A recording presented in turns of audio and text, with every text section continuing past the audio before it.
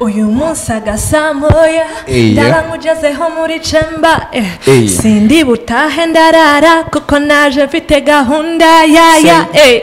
umubili gonga kugonda lelo gatuma lensonga nsimanye bilala binkola jagala nze kutamyinga bikoya go. A friend in need yeah. is a friend indeed. You and your company.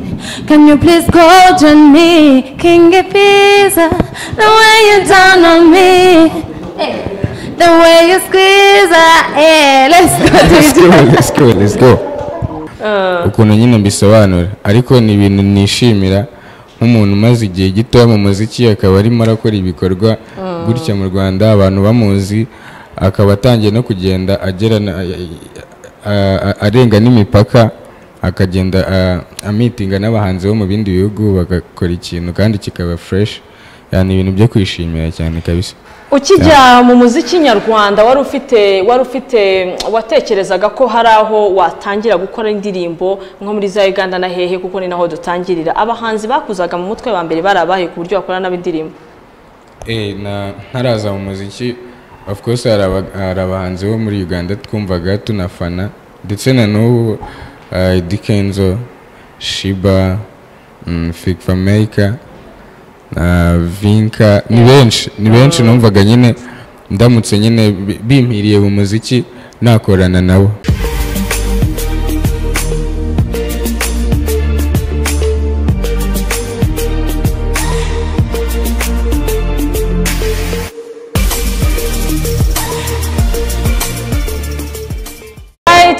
Fanta colors every moment. It also fuels colorful people to spread the playfulness in the world. Whenever you mood, whatever your snack, there is no better way to bring the fun and pump in your snacking experience than with a Fanta. While you're stuck in a traffic, you're at home, which is that jam that brings color to your moment. While stuck in a, uh, in a traffic, take a Fanta. While you're with your friends in the digs or traffic, grab your Fanta, open fan, and jump to the beat. Fanta, spread the playfulness and brighten your dull moments. Fanta colors your every move. Kambahereze ikaze mu gice cyacu cya kabiri isaha y'isaa kumi hanyuma twakire n'abatumirwa bacu. Eh turacyari saa cyenda nari nirukashije iminsi di n'amasaha.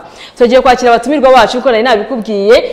Hari abantu batwandikiye reka mbanze ndebe mesaje zabo ndebe ko abantu tugiye kwakira ari bo warda wambaye neza wambaye indirimbo yitwa nakubiswe hanyuma ubwo yaravuze ati eh ko ntari gutanga ibihembo kubera amazina. Hello nabamenye harimo uwitwa Kendall n'uwitwa Katalea kabisa zeru karindwi umunani mirongo ndaza kuguhereza tike izakujyana kwa Trapish Concert. Hanyuma ubwo yaravuze ati Hello Warda nitwa Olive ndi hano Kampala Uganda ndagukunda cyane mumenyashi Afrique Katalea na Kando eh kamba namutangiye kuntanga di. Kamba namutangiye kunkanda.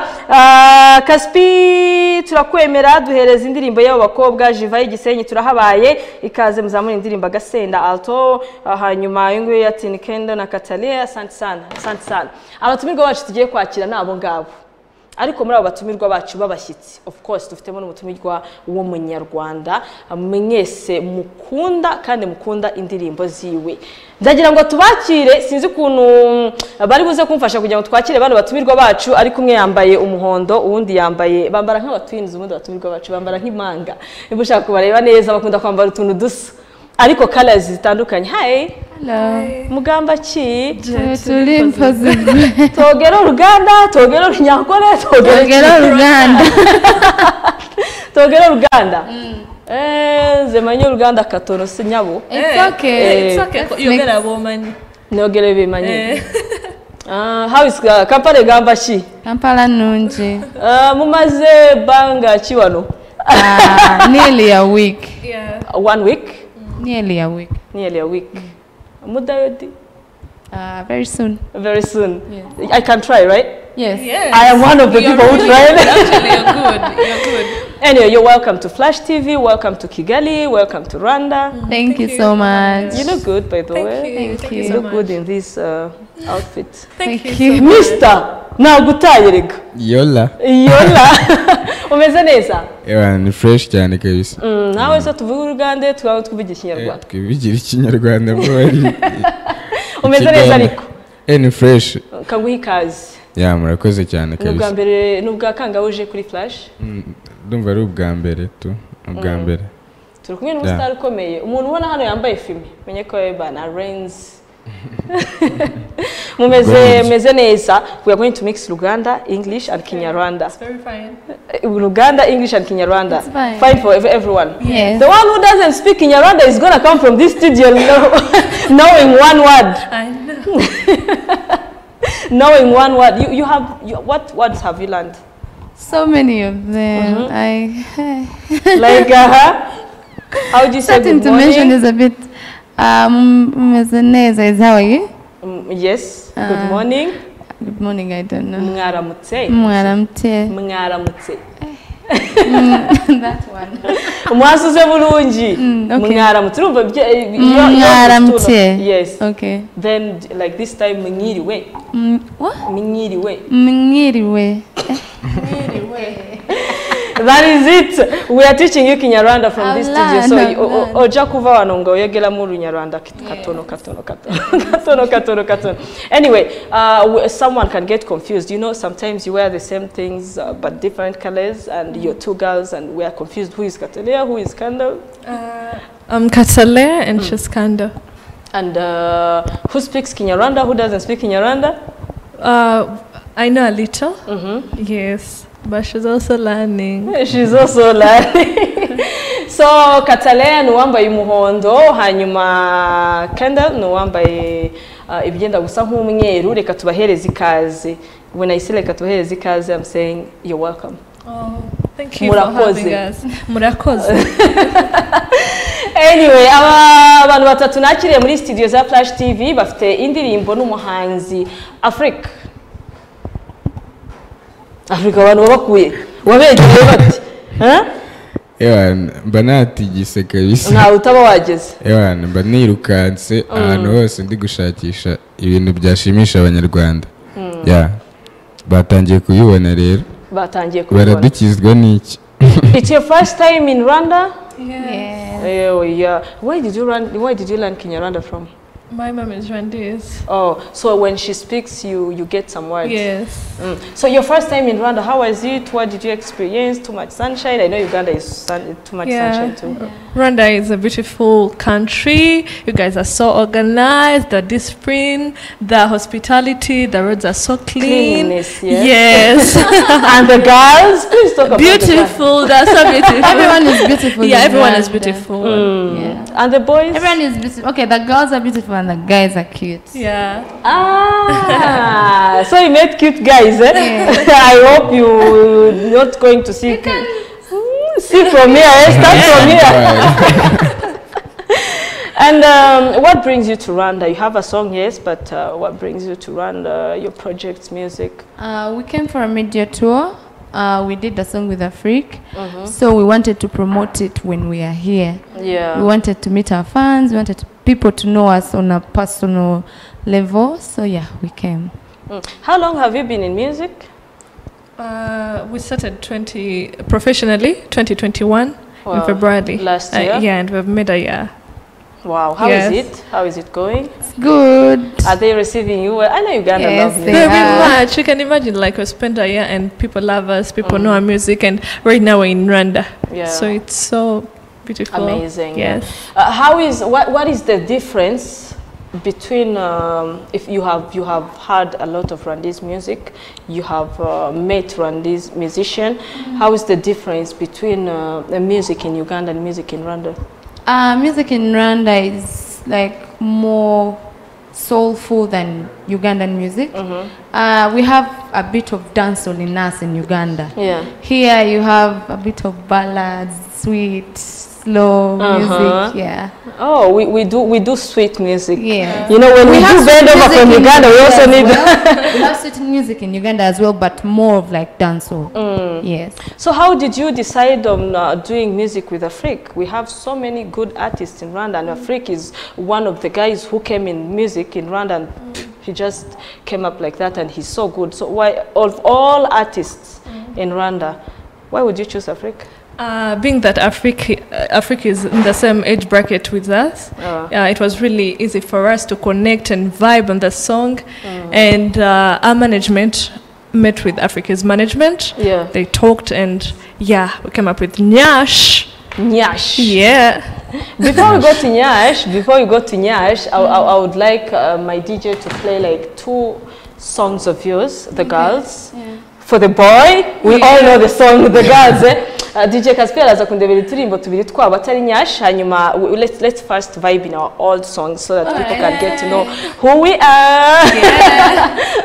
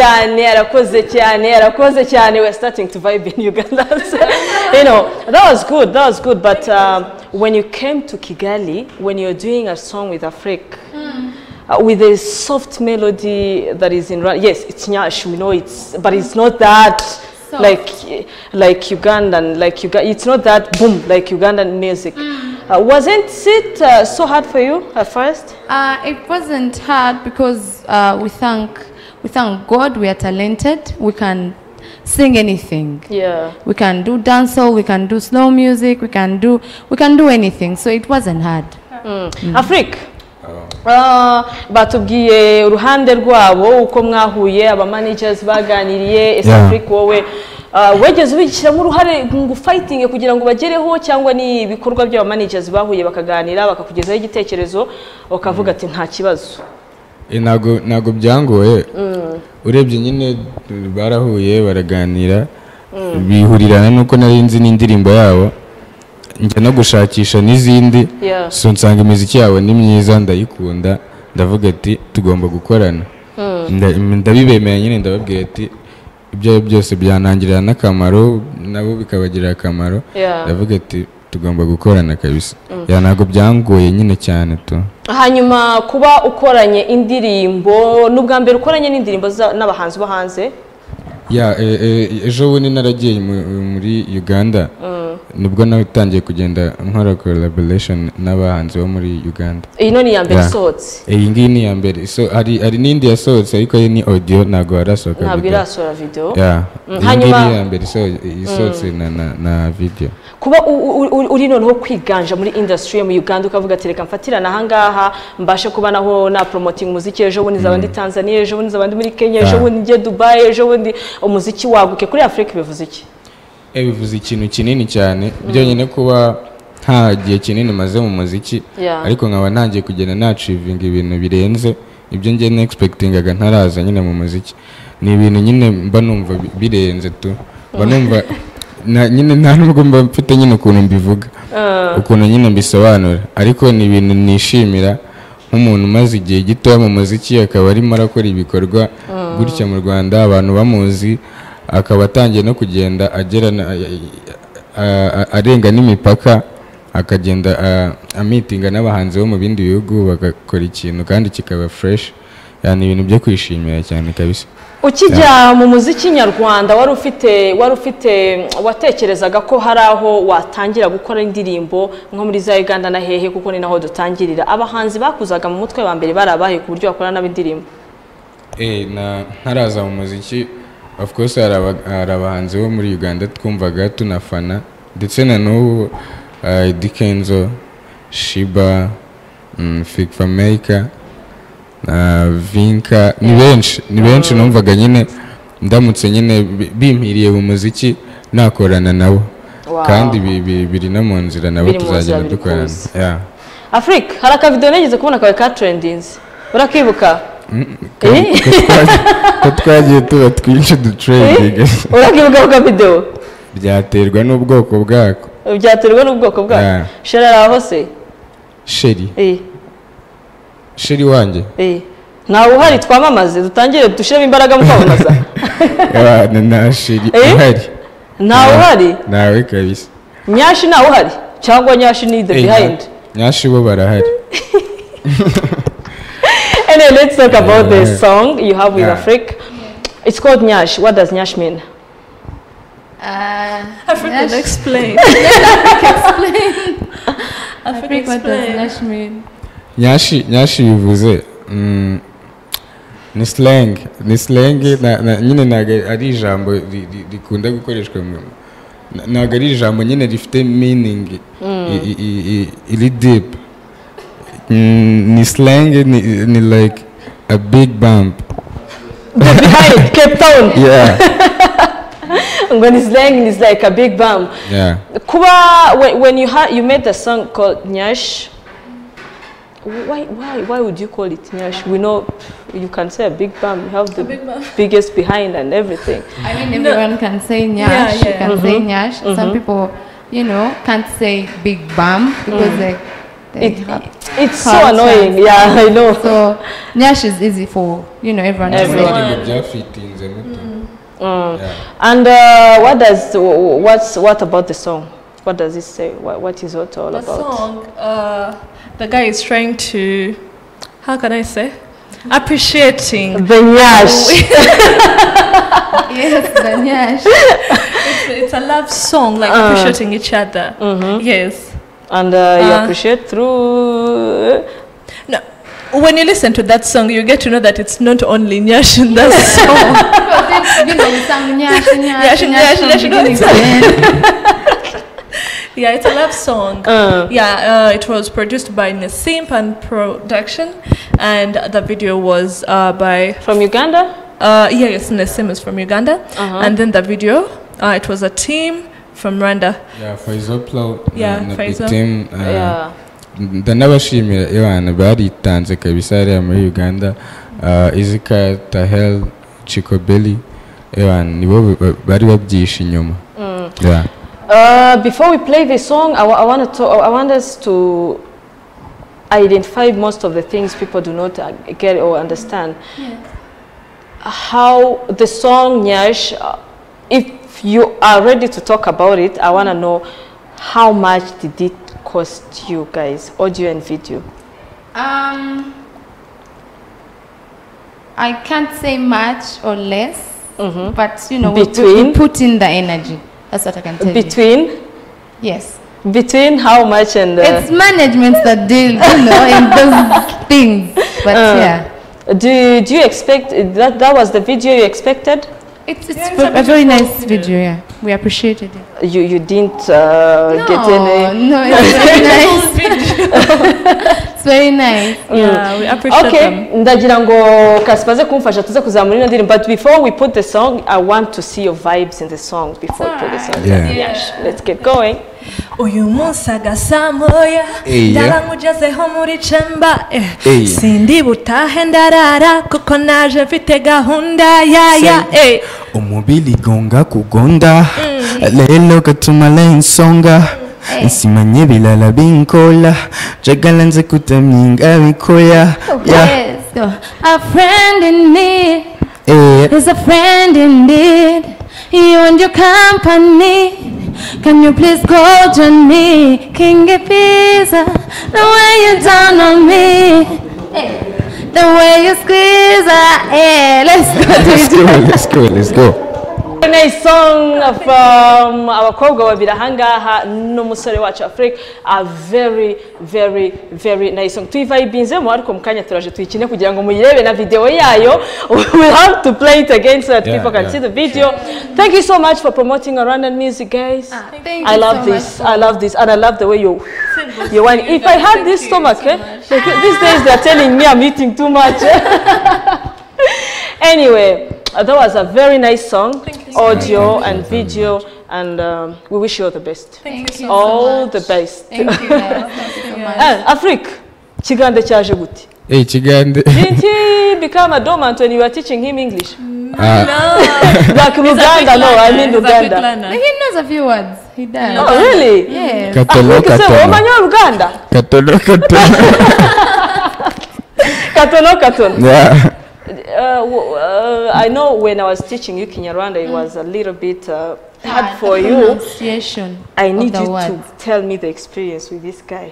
Ah, he's a quick learner. Because I mean, Because the we words he recorded the sang was really hard. Yeah, Sorry, and the words he sang. eh? him. Yeah, the words he sang was And really a little they're bit perfect. hard. Like he didn't make a mistake. But did the he sing No. like throughout or it was? No, he No, like yeah, he's a quick learner. with the pronunciation, but it wasn't too hard for him. Africa experience yo ku- kuririmba iriya paragraph mu gi- mu. Bugande ntabwo ntabwo yabaye too much big deal to you.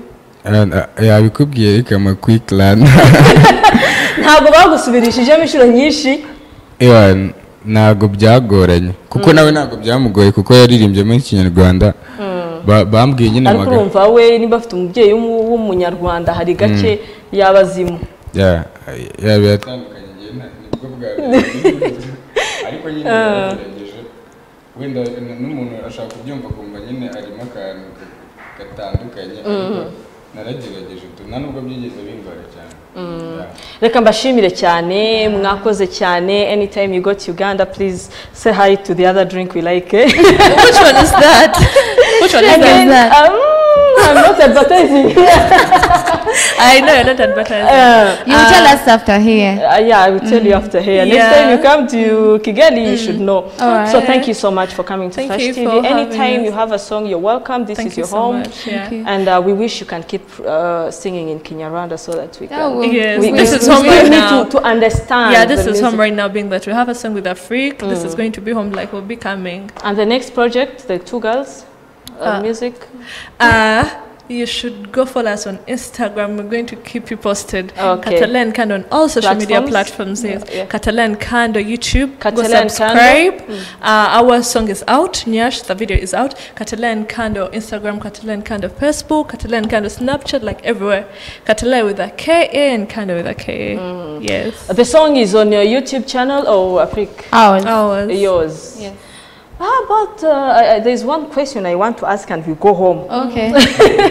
I've seen the, the, the, the nails and um, I'll be like someone who is watching you from the TV. Mm. How do you? How do you... uh, we are used, I'd Yeah, say. we're used. We are used. You're used, eh? Yeah, we're used. You used, can actually. handle it. Yeah, Yeah, like- definitely. We're girls. You have to. You look have like to look good, you know. Yeah, we can handle. Thank you guys, thank you. Thank Thank you for having us. twamamaze tugaruke mu kanya tuba dukina indirimbo yabo yitwa Nyash ni indirimbo ya Catalina Kendo bafatanyije na afrika kandi tubashimire cyane kuba babanye natwe mu kiganiro Flash Mix kuri Flash TV. Thank you guys. Thank you. Thank you for having us.